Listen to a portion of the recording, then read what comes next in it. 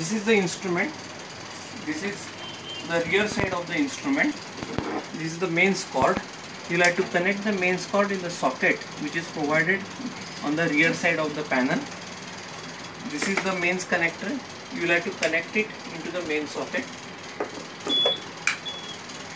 Now this is the dispenser. This dispenser should be placed on this instrument in this fashion just keep it on the instrument. Then this dispenser is having two cables. One is with the black connector. This you will have to connect it into the socket which is just below the main socket. Now here you will find that this is marked as a tube pump. This is a 20, 15 pin D-type connector. This is a printer port. You don't have to connect anything over here. You'll have to just connect this Uh, D socket into this one. It will get fitted only in one direction. You will find that there are two screws over here. Using a screwdriver you can just tighten this so that the connector will not come out accidentally. Now these are the two sockets. One is marked as a red and one is black. This is meant for electrodes. Now this is a support rod. This support rod I will place it in this socket meant for it. This is the stirrer I will just tight it by hand. Okay so I have mounted the stirrer uh, rod, uh, support rod. Now this is a bottle crate. This bottle crate you will find that there are two screws over here and this is a, a keyway.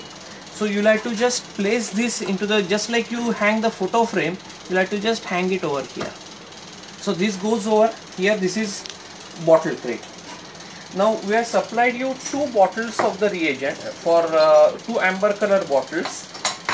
Now this in one of the amber color bottle you store you take your Karl Fischer reagent and you put it over here. This Karl Fischer reagent is available in such a bottle. It is available either in 250 ml packing or it is available in 500 ml packing. Open this bottle carefully and pour the reagent into this bottle. You can use funnel which is supplied along with the instrument to pour the reagent. Okay. After you can fill the full quantity of the reagent. Then in one of the other bottle is given to you. You can fill some methanol. This methanol is meant for washing purpose. So place this bottle over here. Now we have supplied you this adapter also this adapter is meant to suck the reagent from the bottle. Now what you do this is the stopper which you place it on the bottle which contains methanol. And I will connect this uh, adapter on this bottle. Okay? This bottle is filled with the reagent. Now there is one this is one small bulb. It is known as a silica gel bulb. You will have to put some cotton at the bottom then put some silica gel and again put some cotton and place this over here.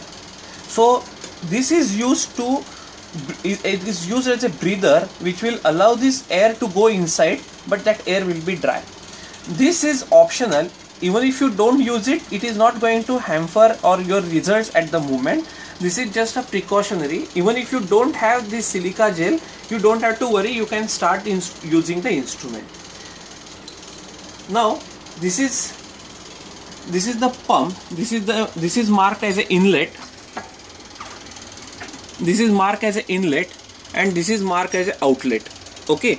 Now this inlet tube i will connect it to this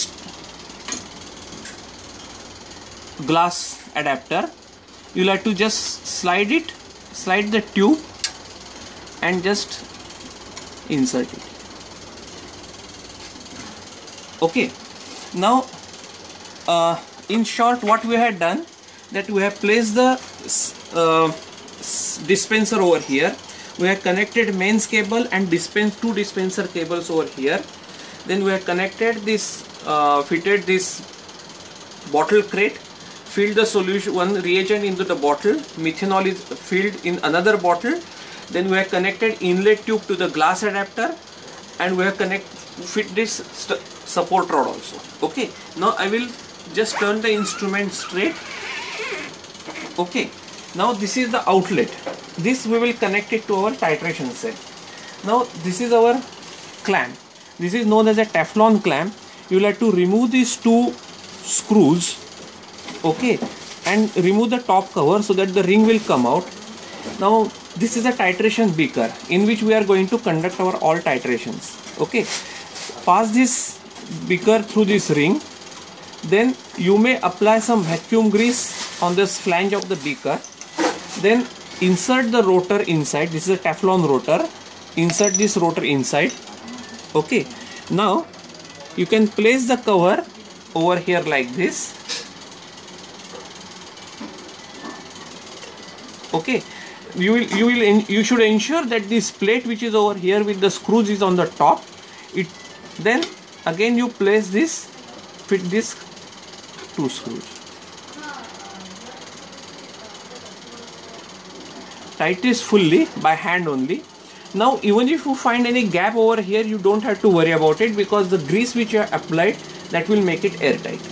Now I will fit this this is the small hole through which the support rod will will be connected. Will it will go inside. Now this will go inside like this and I will tight it over here. Now this I am tightening it. Now this is the outlet of the dispenser which I will connect it in the hole which is over here. You can see this is a small hole. I will I will connect it over here. Now these are the two platinum electrodes. These two platinum electrode one electrode I will insert it in this okay? If you find it going too tight then you apply a drop of methanol over here. I just applied one drop of methanol so that it will go very smoothly inside. Then I will insert the second electrode also now the height of the electrode you should adjust it in such a way that it is about an inch above the platinum uh, above the rotor. So that when the rotor rotates it should not hit to the platinum wires. Okay? Now these two uh, one electrode I will connect it into the red socket and another electrode I will connect it to the black socket. So you can see that this electrode I am connecting it in red socket and another electrode I am connecting into the black socket. Even if you interchange these electrodes, it is not a problem. Now this tube is connected over here.